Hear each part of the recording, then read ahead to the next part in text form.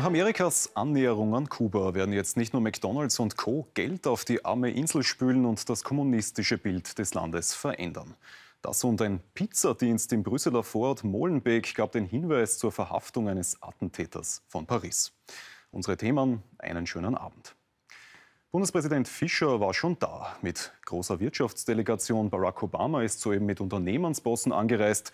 Und als bräuchte es noch mehr Beweise, dass das einst isolierte Kuba wieder fest umarmt wird, kommen an diesem Freitag auch noch die Rolling Stones.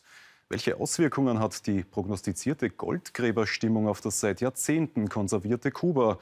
Das fragen sich auch Österreicher. Hier wird Kultur vermessen. Das Unternehmen Linsinger aus St. Johann im Pongau hat sich auf die Vermessung von Kulturgut spezialisiert. Aktuell hofft Geschäftsführer Stefan Linsinger auf einen Deal mit Kuba. Es geht darum, die historische Altstadt von Havanna einfach komplett dreidimensional von innen und außen zu vermessen. Also nicht einfach mit Vermessungsgeräten, sondern mit Hightech-Geräten, um aber eine Dokumentation zu schaffen, bevor Havanna sich verändert. In den vergangenen Monaten wurden massive Weichen gestellt. Die US-Hotelkette Starwood übernimmt Luxushotels in Havanna, der größte Unternehmensdeal zwischen den USA und Kuba seit der Revolution. Auch zahlreiche Großkonzerne aus Deutschland, etwa Siemens und VW, klopfen schon an.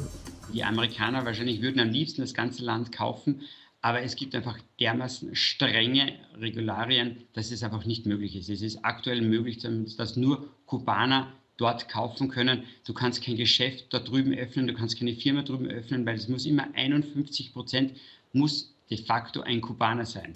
Die österreichische Wirtschaftskammer hofft, ihre Lieferungen von 10 Millionen Euro in den nächsten fünf Jahren auf 50 Millionen Euro zu verfünffachen.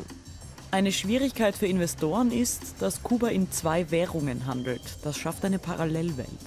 Das Hauptproblem ist, dass da drüben zwei Währungen sind. Also die ausländische Währung und die inländische Währung. Und das zu vereinfachen oder das abzuschaffen, das wird noch ein langer, langer Weg dorthin sein.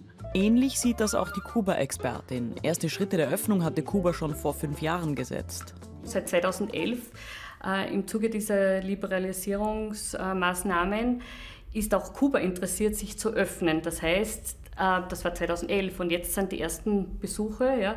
Das heißt, das ist einfach ein, ein, ein langfristiger Prozess.